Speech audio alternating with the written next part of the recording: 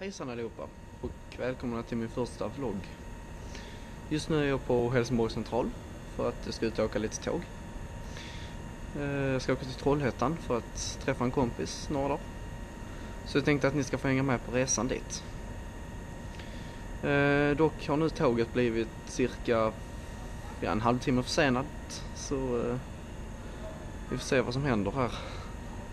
Om det blir ytterligare försening eller om det kommer iväg 12.20 som det är sagt. Det är tydligen något signalfel nere i Malmö som gör att eh, det kan inte komma iväg därifrån av någon anledning.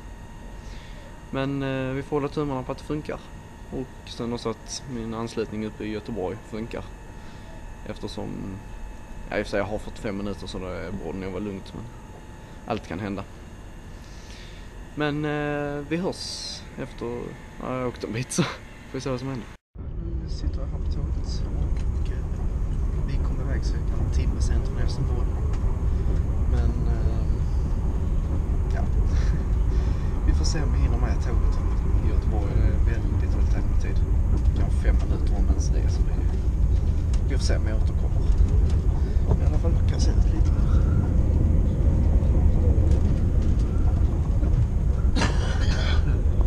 Jag sitter i tusen. Det är fan tågölka. Går lite ryckigt bara när man ser dumt. Men eh, vi hörs när jag kommit till Göteborg och då kommer vi på nästa tåg så får vi se om jag hinner.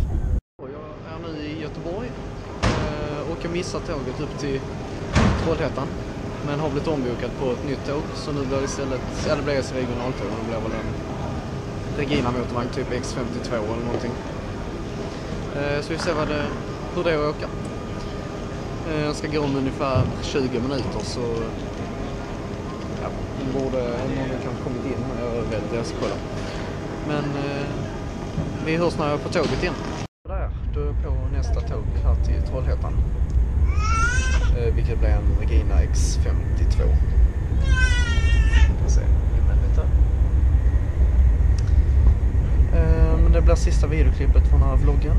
Och eh, tycker ni det var bra så tumme upp.